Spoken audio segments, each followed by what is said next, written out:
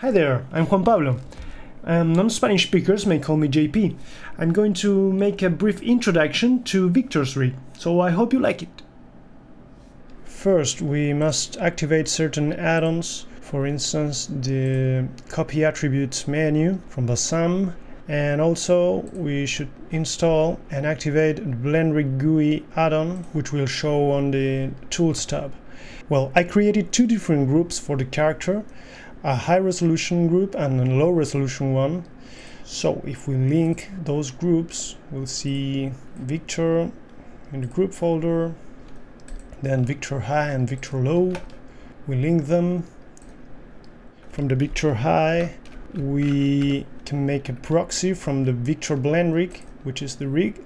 When we have the rig selected, you see that the BlenRig panel appears in the Tools tab and then well you can see that the high resolution Victor runs at 37 frames per second which is kind of cool while the low resolution Victor runs at 50 frames per second. Here I have an i7 computer so well it all depends on, on your CPU but in overall it runs pretty well. Well this is kind of the final version of the rig um, but regarding the, the user interface, this is just what I had. So we might see a lot of changes in, in, in how the, the panel behaves, especially with the new widget features and, and all that we are doing for, for Gooseberry. Apart from that, I also have something that I, I, I want to work on. That is um, this kind of panel that I have to update that where from where you can select the different controllers. So this looks nice. Maybe we can think of different ways of, of adding sliders here. Um, well those are things that we should talk with Hjalti and, and the other animators.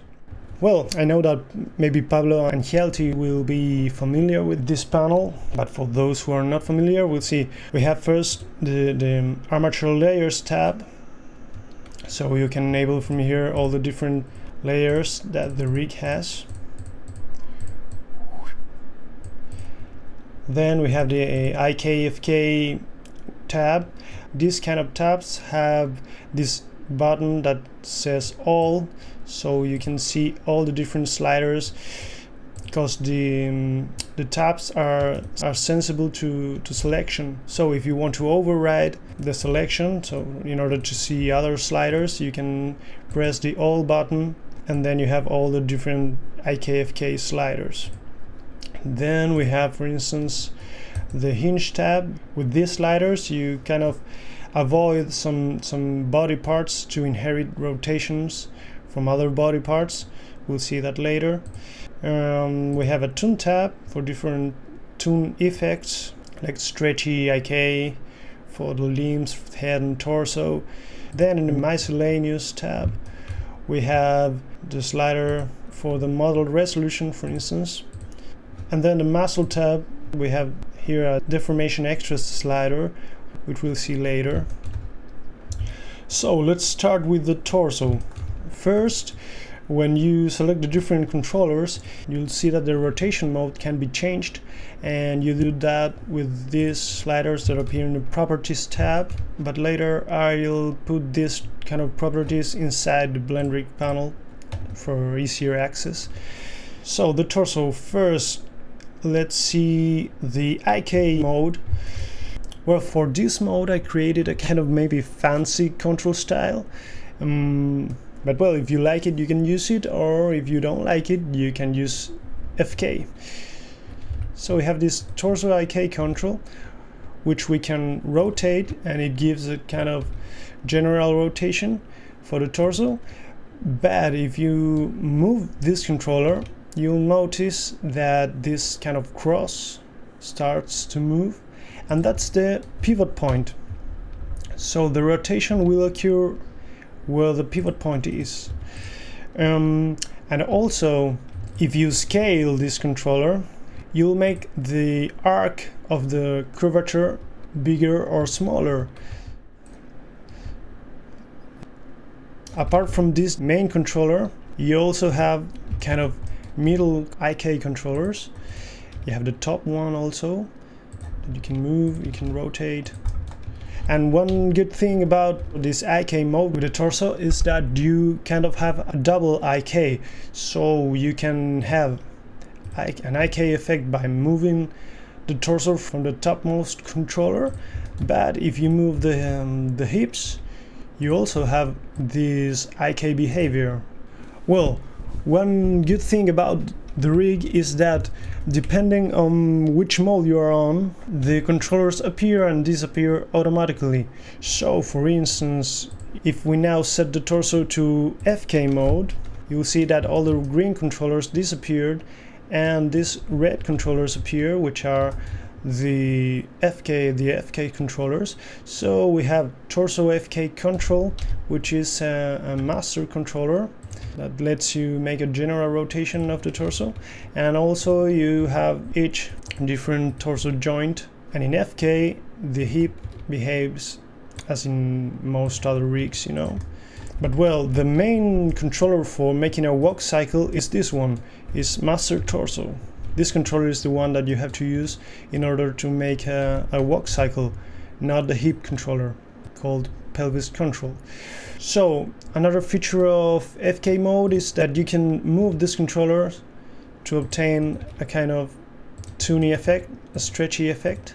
You can also scale them. And then we have another mode for the torso, which is called inverted torso you see this slider called invert torso. And then all the controllers change to uh, blue mode. Um, what is this for? Well there are many cases where you need the hierarchy of the torso to be inverted.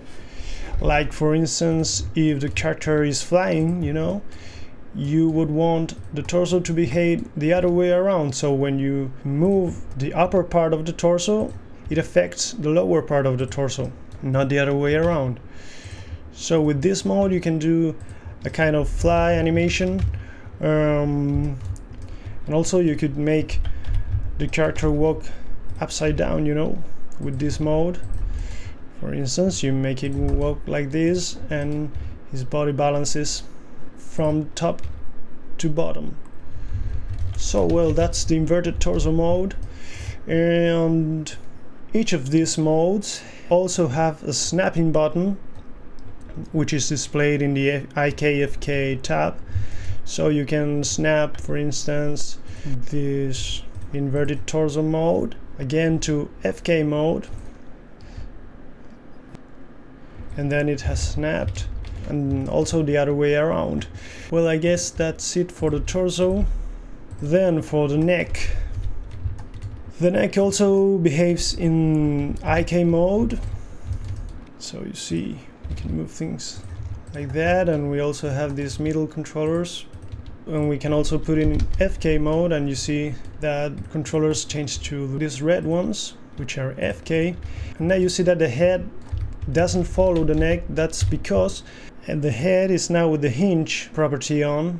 So if I turn off the hinge property the head will follow the neck and we can control the head with this red controller. If I put the neck back to IK the head will also follow the neck. But with hinge turned off we must rotate the head always with the red controller. And when hinge is on we rotate the head with the green controller. So that's it for now for the head. Well as when you change the mode the controllers appear and disappear you can override that with this layer called IKFK.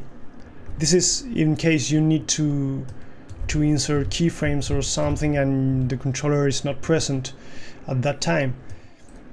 Well, now we can go to the hands. First, the basic controller for, for the fingers. You can rotate these controllers, you can move them, and by scaling them you curl the fingers. You may also notice that this rig, which is my BlenRig 5 prototype, has what I call uh, realistic joints. Um, that means that the bones not only rotate, but they also move as real bones do. You see that when I rotate this, the finger bone not only rotates, but it also moves away from the first bone. This technique makes things look more realistic and it also helps in volume preservation. So well, you can do whatever you want with these controllers, move them, rotate them, scale them. And then we also have a more generic controller for performing certain actions.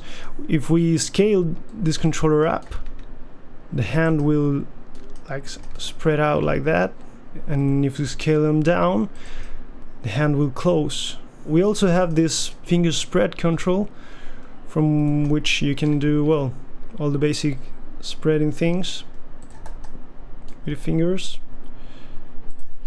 And if you scale it you can do this kind of cool animation.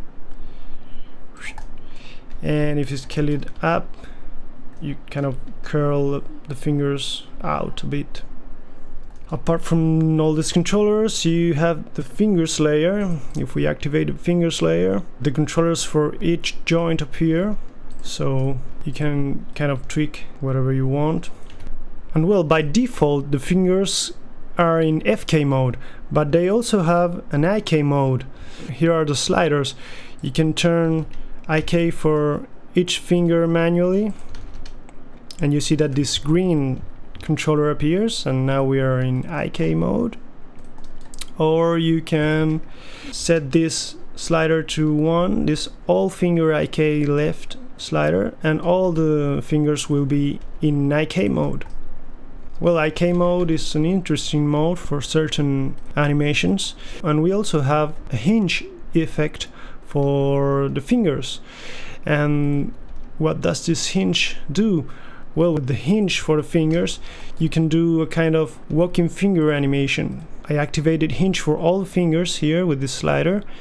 And then if I move them, the hand, you see that the fingers stay in place. So you can do a fancy finger walking animation, for instance.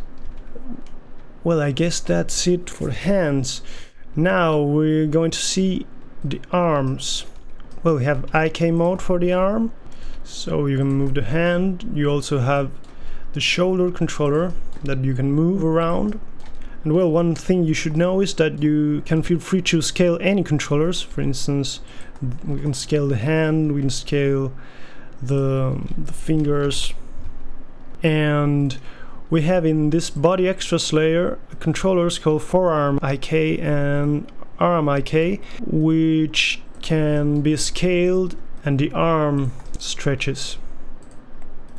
Well, in the hinge tab, you also have the hinge property for the hand.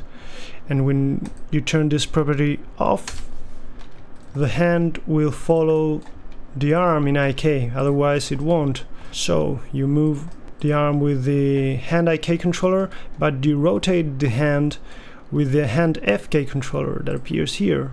And well, also we have this controller called Palm Bend IK, which will let you tweak the wrist of the character. So you can, if the character is, for example, grabbing something, you can kind of control how the wrist behaves independently from the, the position of the hand. Then we also have a hinge for the arm, as you can see here. So you can move around the torso and the hand will stay in place. Another cool control we have is a kind of pivot point for the hand.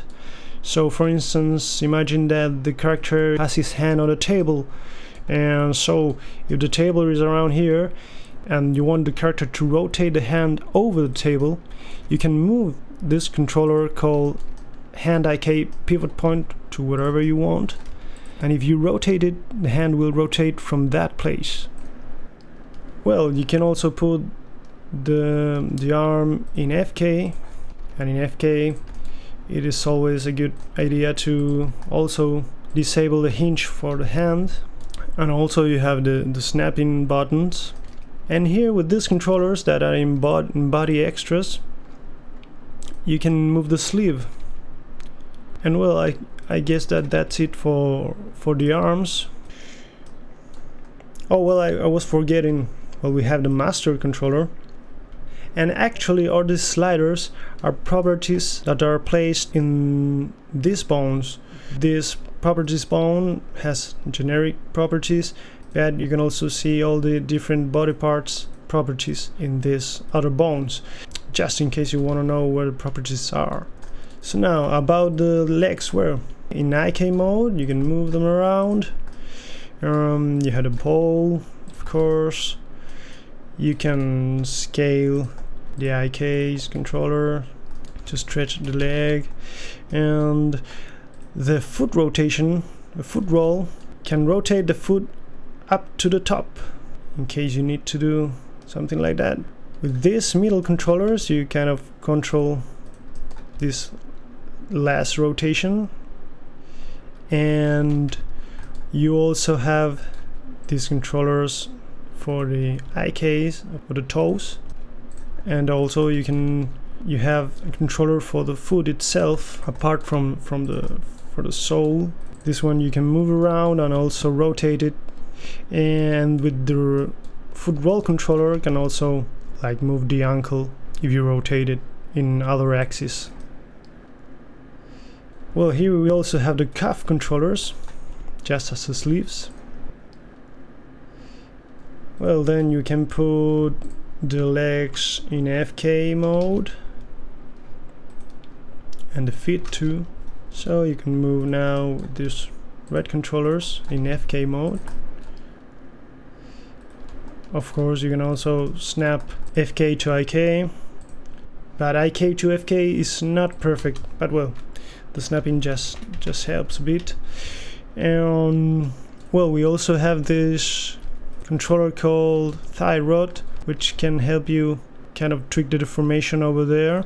And the shoulders also can also rotate like this. Uh, I forgot this one. The sole controller also has a pivoting point so you can move the pivot point to another place and kind of rotate the foot from there. And the master torso also has that kind of behavior so you can move the master torso. But if you move this little guy called master torso pivot point you can make the character rotate from another place you know. So I'll now show you the more fun controllers. Those are the toon controllers. So we activate the toon layer and you see that we can kind of do this toony deformation. And what one cool thing about this is that these controllers not only move but they also rotate. And I'll show you this. And by rotating you're kind of modifying the Bezier curve of the B-bones like this. So you can kind of tweak the deformation a lot with that. And these controllers also can also scale and will make things like fatter you know? You can do all kind of, of effects with this move things around. You can totally deform this guy. There's also another layer called scale. In this layer these cube controllers appear and what these controllers do is to perform a kind of uniform scale to the body part. So we have an arm scale we have an, a leg scale. You see it's a uniform scale. It kind of makes everything bigger and also head scale well and everything becomes becomes bigger. And with all this the IK mechanisms are still working you know? So you can do lots of things with these controllers. We also have the toon controllers for the head from where you can do like rubbery deformations. This is a kind of rubbery deformation achieved with lattices but later I will show you another way of deforming the character's face. Well then as I showed you there is a toon tab. In this toon tab we can set the controllers to have stretchy IK so we can activate stretchy IK for the torso. So if we move the torso controller it will stretch and activate for the arm. So if we move the IK controller of, of the arm the arm will stretch and the same with the legs and the same with the head So well, there are many different modes that you can choose from to make your animation workflow easier. We also have the, the look controller. As you can see, the eyes behave kind of fleshy, with a fleshy deformation when the character moves his eyes around. And this controller, by default, follows the head. So if the character moves the head, the controller will move with the head and the eyes will always be looking where the head is pointing. But in the miscellaneous tab, we have this look slider and we can set it to, for example, torso. And with torso, this look controller will follow the torso and not the head. So now if I rotate the head, you see that the controller doesn't move.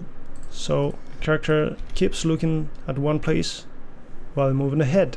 You can also set it to body.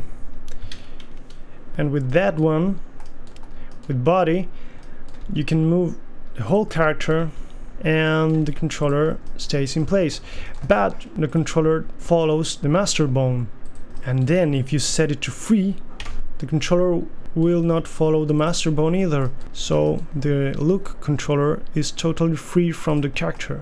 That's in case, for example, if the character is walking around and you want to keep the character looking at a tree, for instance, so you can make him walk around and his eyes will follow the tree, you know. Well, inside these eyes controllers, we also have some other controllers for the eyes themselves. This is a master controller, but you can also move the eyes independently. And with these yellow controllers, you can move the eyes out of place. You can scale them. And these rounded controllers, by scaling this controller, you modify the size of the iris and with this other controller you modify the size of the pupil. And as you can notice when I do this the eye always stays rounded you know? Finally we have a layer called extras in which we have a kind of another controller. It's like just like another pivot point for for a kind of master controller you know? And we also had the floor controllers and these floor controllers come in handy when for instance the terrain is irregular so you can set the floor to the height you want and they will act as a limit for the character's floor without having to worry about how the sole controller is animated. So it's an automatic way of limiting the steps of the character. In this layer we also have this controller which is hand accessory and we have another controller called accessory. Um, if you want the character to hold something you should parent it to accessory and then the hand accessory will move along with the hand. And in the miscellaneous tab you can move the accessory from one hand to the other. You see that? The accessory is in the right hand now or you can make it totally free and the accessory won't move along with the hands anymore there is also an add-on called Dynamic Parenting, which is really good, but I think that it's not working currently, so it would be cool to to to fix that, you know? Because um, it could well replace all these accessory things with a much better solution, you know? Well, we're almost finished with the body controllers. Now we're going to see we have a breathing controller so that you can do this breathing effect and you also have this kind of lattice deformation just extra deformation if you want to use it for the chest and for the, his rare parts you know. Well now finally the jacket. As you see when I move the torso the jacket always follows the movement of the body.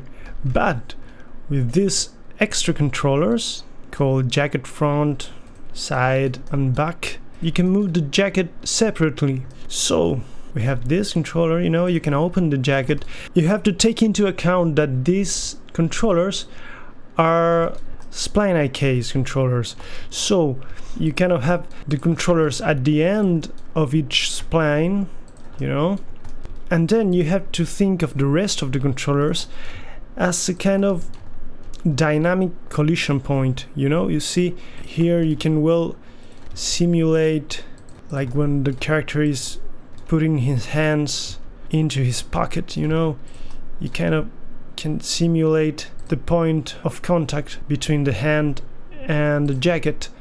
And as this is spline IK, each controller also controls the Bezier handles, so if you scale them or rotate them, you have an extra deformation. So think of it as if you were editing a spline. You know, you see, you can do whatever you want with this. It, it's really cool. And we also have this controller called jacket bottom control, which kind of lets you move this as a whole, you know, so you can move them you can rotate them also you can rotate this for like opening the jacket you know so well I think that it turned out to be a really flexible rig for the jacket I hope it's up to the task well and finally the face rig well first of all this rig is a bone based rig so it is much more flexible than a, than a shape based rig. Let me show you. This is the actual rig and these all these B-bones deform the face in a very cool way and I only and I only use some corrected corrective shape keys for for certain deformations. The good thing about this is that you are kind of free to do whatever you want. You are not limited by the shape keys that the rigger or modeler might have thought of. So you have the eyebrows, you can move them, you can scale them, you can rotate them with this general controller and you can also kind of control each part individually.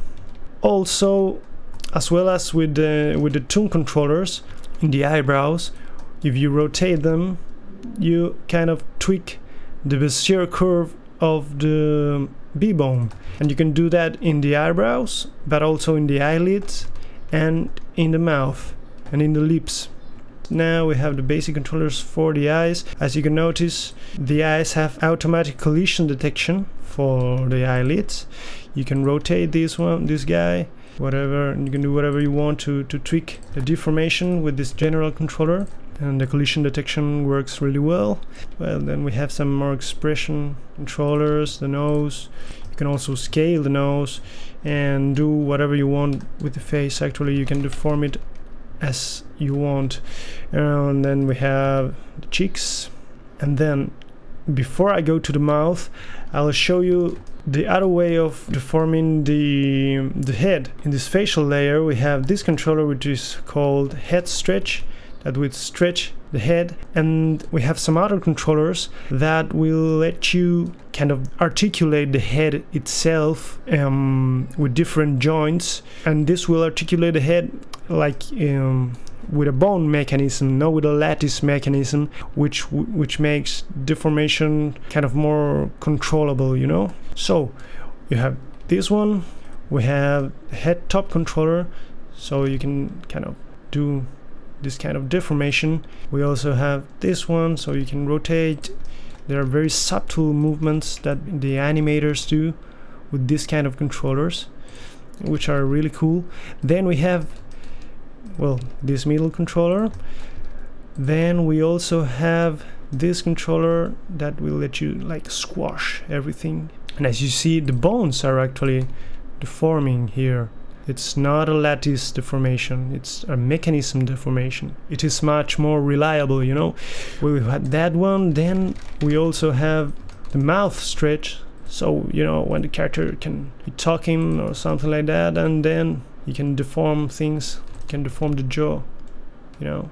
These are really cool toon deformations for facial expression. And then, well, we also have the the ears with two articulation points. We also have the jaw. You can also scale it and do whatever you want. Um, and you can also scale these these guys also. And well, now the the mouth.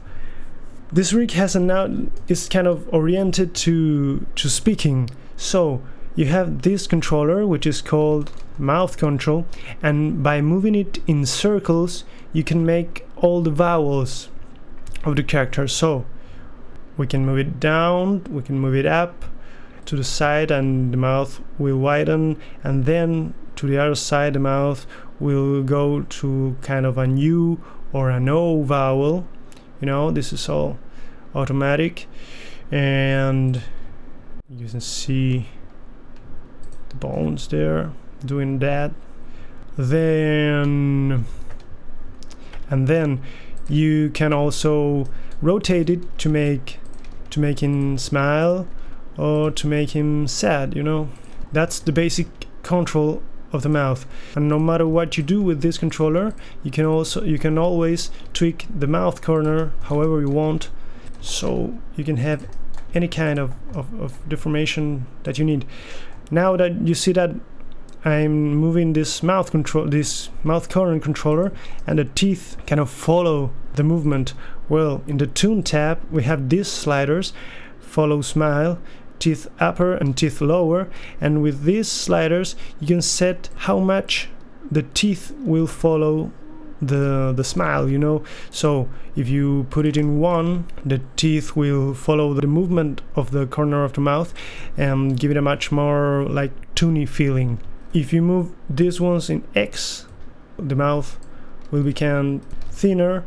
You can kind of shrink the mouth but without making the U vowel. You can see that the, uh, the feeling of the face is like very organic. When you open the mouth the nose also moves a bit so that's kind of cool. Another thing I did was to add let me hide the hair now in the muscle system tab we have this slider called deformation extras. If you set it on you will enable a dynamic smoothing modifier that will kind of smooth out critical areas in extreme positions of the of the face. So let me activate it and you see the difference. This will avoid creases in the in the mesh. So it's kind of cool. It will always be on for rendering so you don't have to worry. I just have the option to enable it or disable it here but just for the viewport um, in case the animator wants to see what the render will look like finally because the render will be with these deformation extras activated. So with this deformation extras thing, you can move the things to very extreme positions without intersections of the mesh or anything like that. Um, now see that when he smiles, the cheeks also move, so that's cool. And then if you make the U vowel, you can turn it off by moving these two controllers back. You know there we cancelled the U thing. And if you move them back even further the lips of the character will kind of go like that will go into the mouth. I think that you can create any expression that you want in the character. And that's another one the last one. This one if you put the the mouth corner there you can scale it up and you have that kind of cheek puff effect. Like that you can always move the jaw and the things will keep working. And we also have these two controllers that I call that are called mouth up rotation and mouth low rotation that will let you kind of move the mouth to wherever you want. So and you can rotate them and this will and if you talk the character will all the mechanisms will keep on working you know but with the mouth rotated. You can do lots of expressions this way. And well then we have facial extras. One with these controllers you can tweak things even further. Here we have the lip controllers. Oh the lips also have automatic collision detection for instance. So you have this lip up control collision. This controller is called collision will make the lips collide with each other. But if you want to override that collision you have these other controllers called the same but not collision that are called lip up control and lip up control collision. So lip up control, if you move it, you can kind of override the collision thing and you can move the, the lips freely. No collision there by moving that controllers. Um, but if you move the collision one, you will have automatic collision detection as you see these controllers can also rotate to have kind of automated um, expressions so you see the collision there wick wick so with these ones you can also kind of rotate the leaps and then you have this one's leap up 2 that will move the upper part of the leaps and this will move this part. Also you can also have them here leap low 2 and leap low 3 so well you can do whatever you want with this. And for the nose we also have some other controllers. You can tweak things as you want as you need so well as you see you can totally deform the character. Then as I said you have the eyelids. So here you can move the eyelids and override the, default movements that the eyelid controllers give. And then we have like a totally extreme layer that's called facial extras 2 that will actually show you each each point of articulation of the rig so you can kind of move vertex by vertex the model you know? It is really extreme. You will only need to to move these ones these controllers if you want to make a really precise correction you know to the default movement of the rig. But well you, you can do it if you need to. So then inside the mouth you also have some controllers for the teeth. So let me show you so then the teeth can also be moved and scaled if you need to and you can kind of deform them also with these other controllers um, which can be scaled also and rotated if you need to. So you can do whatever you want with this. And you also have the tongue. The tongue has a, a master back there and you can move them. You have an FK controllers and then you can do you have some like IK controllers that they will let you do they will let you move everything like in a much more organic way you see? And finally we have some controllers for the hair just basic thing I did that this is a lattice actually a lattice modifier deforming the hair and this same lattice modifier may also work with the with the final particles. So we could keep it and see what happens. And well I think that's it. Have fun using the rig. See you later